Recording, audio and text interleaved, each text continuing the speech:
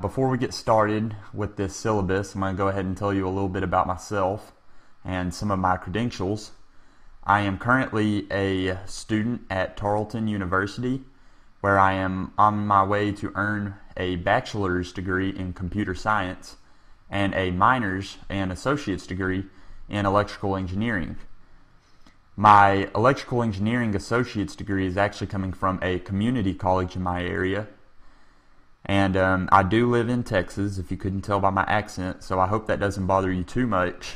But uh, I'll try not to make it sound too Texan when I'm recording.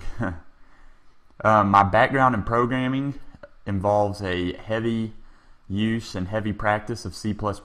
I've taken many semesters in C++ at my university, I have actually taken three uh, semesters in C++ total, and I've taken a semester in MATLAB, an engineering programming language, and I currently on the side programming Java for Android application development, and I've actually developed my own Android applications for the Google Play Store.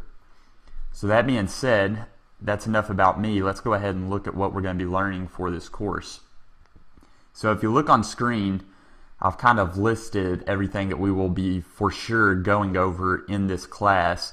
But um, just remember that the class is not limited to this syllabus. So there's going to be things in between these um, these concepts right here that we will be going over. You know, so everything you see on screen is is not everything that you will learn. You will actually learn much more than just everything you see here.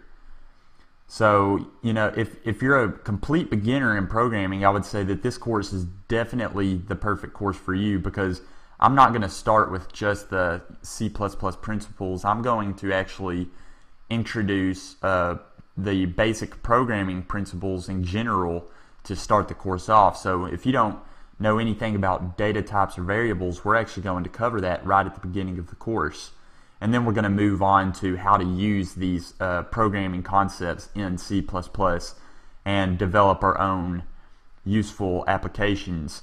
And when I say useful, you know, the course is called Practical C++ Programming, and that's because I think that C++ is a much funner language to learn when you're using it in practical situations. So that's exactly what we're going to do. We're going to develop a small business application, um, a simple calculator app, and then at the very end of the course for our final project, we're going to develop a hangman game that you can show all your friends. And hopefully, if I get enough students for this course and enough people uh, leave good reviews and tell me that they they want to see an advanced course, then that's then that's what we're going to do. Um, I'm actually going to make an advanced C++ course after this, and we'll go into object-oriented design and everything like that. So stay tuned for this series, and I'm glad you're part of the course. Let's get started.